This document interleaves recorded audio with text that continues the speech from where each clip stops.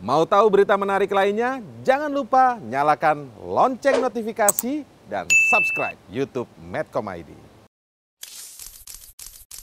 Iya, kami dapat uh, laporan dari masyarakat uh, setempat yang sebenarnya tahu uh, praktek itu sudah lama gitu ya, tetapi tidak ada keberanian untuk uh, mengung mengungkap gitu. Tetapi uh, beriringan dengan uh, tertangkapnya uh, yang bersangkutan dalam OTT KPK, maka kemudian informasi itu disampaikan kepada uh, kami gitu, bahwa uh, kami juga menerima informasi uh, kerangkeng ini adalah untuk rehabilitasi narkoba gitu. Tetapi bahwa um, rehabilitasi narkoba itu kan sesungguhnya tidak mem, tidak boleh dijadikan alasan untuk mengeksploitasi orang uh, dipekerjakan secara semena-mena gitu ya di kelapa ya. sawit uh, kemudian juga ada dugaan uh, apa pemukulan gitu tidak uh, digaji kemudian dimak, uh, diberi makan kurang uh, tidak ada akses uh, keluar tidak ada akses komunikasi itu kan bentuk-bentuk uh, pembatasan uh, gerak dan juga dugaan pelanggaran HAM gitu ya sehingga kenapa hari ini kita uh, mendatangi Komnas HAM mencari mencari uh, titik temu dan juga untuk agar Komnas HAM mengusut uh, tuntas uh, praktek ini yang katanya sudah berlangsung lama.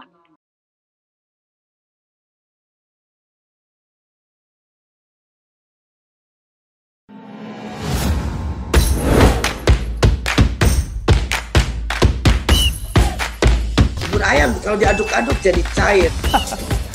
Seriously, diaduk kayak.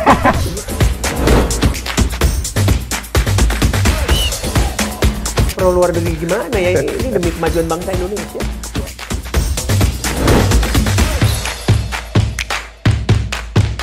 Isu kebangkitan uh, PKI ini uh, dihentikan.